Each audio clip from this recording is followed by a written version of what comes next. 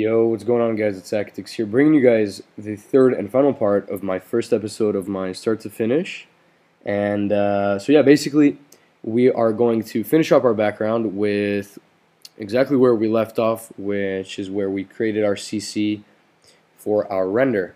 So actually, first things first, I just want to say big shout out to, um, sorry, I totally forgot your name, Hetra mindless Hetra. He made my graffiti sigs. He's a really cool guy. So uh, I left his channel link in the description. You guys should check him out. Really solid signature designer, and he's a really cool guy. And um, also, I wanted to let you guys know that Sinner Arts, the team that I am managing, uh, there was a slight issue with their channel. Somehow their old channel got deleted, and uh, they were at 250 subs and released an RC and all that. But then all of a sudden, the channel got deleted so they have started over. So I would really appreciate it if you guys would head over there and uh, show some support, like possibly subscribe and even enter the RC because uh, I'm telling you guys this is going to be a really great team. Uh, so you should definitely check it out. So let's get back into our tutorial. Let's first things first. You're just gonna get your render and your CC, and you're gonna have your uh, layout, which is uh, excuse me, which can be downloaded from YouTube. Very easy to find. Uh, you can either make your own or customize it, as I have, or just get a blank one from YouTube. Uh, that's perfectly fine. Just look up 2014 one channel banner template or something like that. So let's get right into it. First things first, select everything you need, which is your color correction and your render. And then with the move tool selected, just click and then just drag it into the tab just like that. And there you go. Then let's just position our render pretty centered. And uh, let me see. There we go. So that looks pretty good. I'm thinking that's a bit too small just by the look of it. So if you do control T that's your free transform tool. And then if you hold shift uh, it will while I mean okay so if you don't hold shift and then you move around this arrow it'll like mess up the proportions and you really don't want that because it'll mess up everything. So what you want to do is hold shift and alt at the same time while while dragging this. And then so what this does is it expands it while maintaining proportions from the center. So that pretty much keeps it in place and keeps your proportions intact so after you're done, just hit enter on your keyboard and there you go, you're done. You've uh, rescaled your render and so that looks pretty good for now. First thing I'm noticing is that I kind of like this whole dark uh, part beneath the letters and that, that's going to work really well when I'm making my background because it's going to make it blend really nicely. So I might as well just go with it immediately and just fix that. So make a new layer, get your black brush something not too big, uh, maybe like two, 300 pixels. And then I'm just gonna do a very quick mask down here. And there we go. So that's slightly darkened the, the bottom of the layer of the letters. And as you can see, it makes it look like they're fading into the background, which is good because that's like the most important thing you can do when making banners is um, making sure that they fade and uh, flow with the rest of the, of the piece. So next thing is looking for your stocks. Now I'm going to be using my, my stocks pack, which you can find in the description if you want to buy it. There's so many other packs, but you know, if if you really want to make it easier, uh, you might as well just go ahead and buy it. So that there you go, that's the promotion right there. Um, what I always start off with is finding textures. So getting a good texture behind your render and basically the overall background. So since this is a pretty grungy render, I'm thinking I'm just going to go with the same flow. And uh, let's go to my textures, and I'm just going to bring in a pretty grungy material, or non-material texture. Let's bring this one in. This is the same one that we used to texture our render, but it's going to work fine. We're just going to put it behind our logo just like that, and then hit Control J to duplicate it, and then just move it over so that it covers the entire length of the banner like that. Then you want to select both of them and then uh, press Control E, which is the shortcut for merge. And as you can see, it's merged both of the layers into one. Now I would just turn down the opacity because this is kind of excessive and it just stands out a bit too much. So really barely noticeable. So as you can see, it's very, very faint, but it's still a texture. And uh, it's the devil's in the details, so you want to make sure that uh, you you like put every single detail in there and ma make it count. So usually one layer isn't enough just because it's just one basic layer so I might as well add another one I'm gonna use um, hmm um, I think I'm just gonna go with anything else that's grungy. There we go. I'll, I'll go with this. I'm just gonna rotate it. So control T right click anywhere and then just click rotate 90 degrees and that perfectly rotates it. I'm just going to do the same thing. Just have it go all over but as you can see it's got kind of this edge but don't worry we'll fix that in a second just to make it blend nicely. And so duplicate it enough times and then what you want to do is click on the for example right here this line right here I don't I really don't want that to show so find your layer, the layer that's on top, get your eraser, get a pretty large brush, make sure it's a soft brush, and then you just want to make sure your opacity is, is not on 100, anything but 100, and then just tap on the sides, on the edge, and what that'll do is it'll make it blend perfectly into the next one. So same thing, same thing here, this is the overlapping texture, so let's just delete that a little bit, and as you can see, it blends it perfectly. So uh, we got kind of lucky here, but that'll do. That'll be fine. So then you just want to select all of them. Control E to merge. Then let's just bring down the opacity. Let's see. All right, so that should be pretty good. Uh, as I said, it's barely, barely. Actually, that's a bit too much. There we go. So barely visible, but uh, it's still, it's still there. Next thing, uh, what I always go for is a light source, and usually this is because the reason why I told you guys to um, make your renders point up and not down is because making a light source uh, can make your background look much more realistic and just it'll make it look uh, much much much better. So make a new layer on top of everything else. Get a brush, and this time you're gonna have to go big. So you're gonna have to go close to 1200 pixels, which is pretty damn huge. Then you're gonna pick a color that you want. I'm gonna go with a orangey color. There we go. And then what you want to do is without actually having your brush go into the banner, just have it go very lightly over it. And what that does is it leaves this sort of like misty color. And let me just center that. And then just bring down the opacity. And what that does is it does a nice uh, glow coming from the top of your background. And so then just to match that, what I tend to do is just bring in a flare and I'll just bring in the traditional flare which everybody has which is in every single pack in the world and then I'll just drag that right onto the top and then change the color by pressing control U and what that does is it opens your hue and saturation options for this specific layer so for right now I'm on the flare let's just move the hue along until we find the same color which is orange Alright, so there we go. That looks good.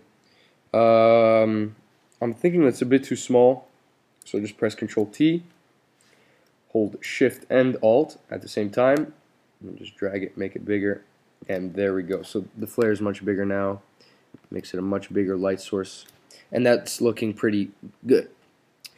Now, the only problem about that is that now that we've added textures and stuff like that, it's lightened up the background so you can you can now see the gaps in between the layers and we don't want that because we really the, the the most important thing about banners is that you make the render just fit perfectly with the rest of the banner you don't want it to seem placed or just set on top of everything else. So right here that's exactly what we're, we're gonna do. Uh, we're just gonna like make sure that this doesn't happen. So to fix that you're just gonna make a layer right beneath your as you can see my render. I'm gonna get a black brush.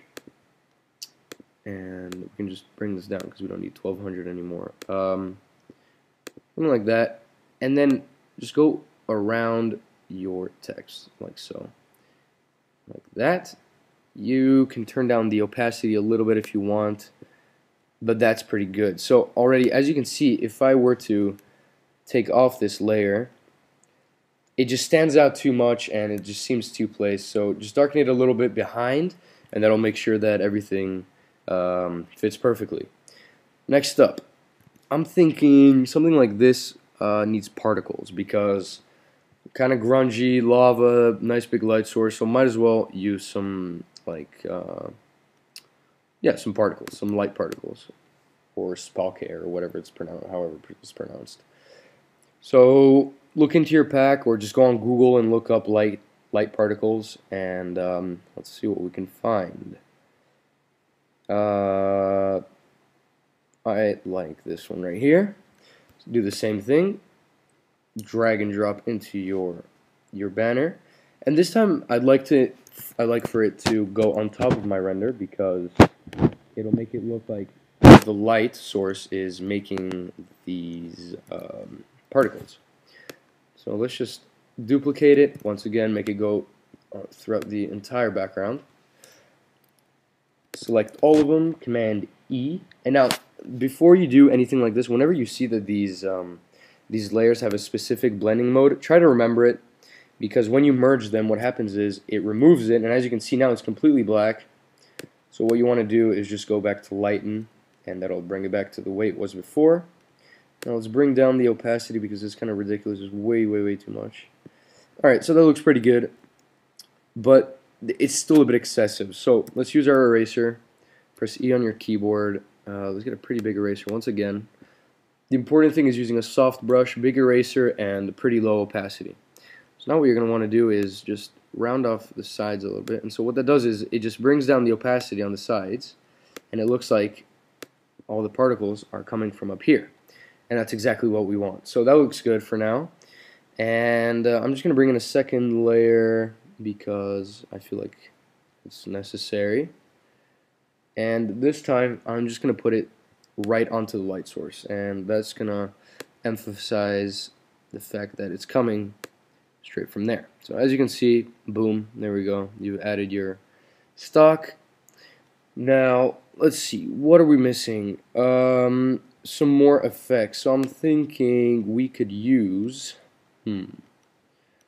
Some smoke. So grab any smoke stock that you might have and what I like to do is place it a bit off your text and then just have it like float into your into your render like so. I'm just gonna duplicate that, flip horizontal, and there we go.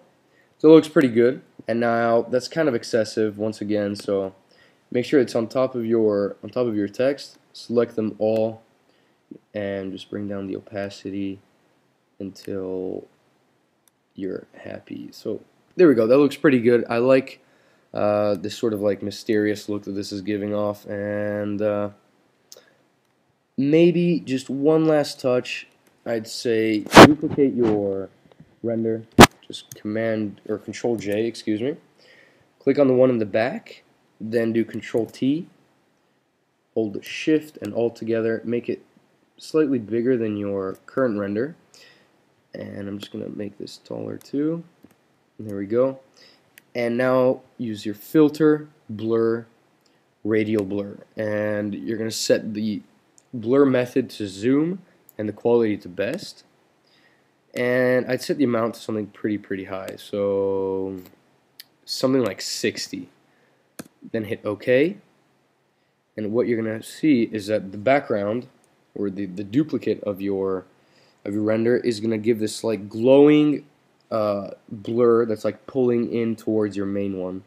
And that's gonna give a nice blend around your your logo or or or text or whatever. And as you can see there you go. That looks pretty good but that's still a bit too much so let's just bring down the opacity. And there we go. So it's it's a little touch but as I said, the devil's in the details, and that's just a little glow around your text that will make it look much, much nicer. Now, this is something that I'm pretty happy with, but if I if I somehow, like for some reason, decide that I want to change the color or something, let's just bring in a hue and saturation. Yeah, okay, we don't want to do that. Alright, never mind. That's fine for now. Alright, let's just keep going. So now let's bring in some text. And uh, what a lot of people do is they have their render that says soar, but then they also, just to make sure that people read it, they add a text that also says source. So we're going to do exactly that. Go to your text tool, press T on your keyboard, and then I'm going to be using a font called Typography Pro or Typograph Pro. Uh, I'm going to be using the semi-bold and then all caps, just type soar. And I'm going to show you a couple tricks that Photoshop uh, has to offer and they're right here so if you see this little option with a T with a little arc beneath it just click it and then on the style this gives you a bunch of different options. So usually what I go with is uh, arc and I turn down the arc a little bit. I boost up the horizontal distortion on one end and then I add a vertical distortion. And what this does is it makes it look like it's actually leaning back or it just there's so many different effects. You just have to mess around with them until you find one that you like so I'm pretty happy with that. Let's the placement I would recommend never putting it somewhere like intrusive like on top of your render or anything like that. Try to find a place that doesn't get in the way of anything. So I'm just gonna leave it on the side for now. And this seems kind of plain. So right click rasterize type and that that makes it an image. So you can no longer edit that. Keep that in mind and this time we're going to duplicate our text twice. On the top layer you're going to double click go into your layer style and you're just going to check off the green then go into your second copy and then check off the red and the blue. And we're going to do the RGB split. This is a very popular effect that I've been using personally a lot just because I find that it's it looks really really good for text like this. And so basically what you're going to do is you're going to grab the very top one and you're going to using your arrow keys while you have the move tool selected, you're just going to tap a couple times to the left, then get your other copy and tap a couple times to the right. Now this looks kind of messy from close, but from far away it gives a nice effect and uh, I think it's just much better than just the plain old text, just like that. So let's leave it like that for now. Let's just merge these all together. And now, using uh, our loop tool, or our lasso tool, excuse me, you're just your default is most likely going to be lasso. If you click and hold, it'll bring down a drop-down menu, and you just want to click on the polygonal uh, lasso tool. And now what we're going to do is we're kind of just going to put some cuts in this just to make it look like a bit more glitchy. So what I tend to do is I click, click, and then I try to do a pretty something close to a rectangle. And then I'm just going to do the same thing over here. Hold shift. If you want to make another selection, uh, hold shift, and then you can just continue. There we go. So that looks pretty good for now. Now what you want to do is Control X to cut and then Control V to paste. Then go back to your move tool and let's position this. Um, let's see. So that looks pretty good actually. So a little bit, either a little bit to the right or a little bit more to the left. And what this does is it gives it sort of this glitchy effect, which in my opinion looks really, really good. So let's just leave it like that. That looks fine for now you can do as many cuts as you want, uh, but just make sure that it's, it's legible. And uh, now let's go into our filters. So select your first layer, hold shift, and select the very, very last one. Then you're just going to drag and drop them into your folder icon right here, and what that does is it groups them into a folder. Hit Control J to duplicate it, and then Control E. And so basically what that does is you no longer have a bunch of loose stocks, now it's all one image and this makes it much easier to work with when using filters and uh, other effects like that. So let's just duplicate that one more time, go into filter, filter gallery, stylize glowing edges, and then click OK. Go to overlay, bring down the opacity, duplicate those again, control J to duplicate it, then go to your blurs, and this is this is just my personal opinion. This is what I like to do. Go to lens blur, and these are my um, these are my settings right here. I tend to just mess with the radius, usually between 6 and 8. So I'm just going to go with 7 for now. Click OK. And this gives it, actually that's a bit too little. Uh, let's turn up the blur radius a bit. Uh, let's go with 9 or 10. Okay, 12. We're going to go big. Okay, yeah, that's good. Now you're going to get your eraser tool and there's different ways of doing this. This is just, uh, I'm going to show you both ways. First of all is manually using your eraser, and you just want to click on some random parts of your text, some parts that you want uh, to stand out, like the logo, but not all of it. So make sure that some of the parts are left blurry, and what it does is it gives it a nice 3D effect, and it gives it a bit of depth of field, and uh, depth of view, or whatever. So let's just do that on the logo too up here, and that looks pretty good. So this is one way. The other way is duplicate. So let's apply the filter again.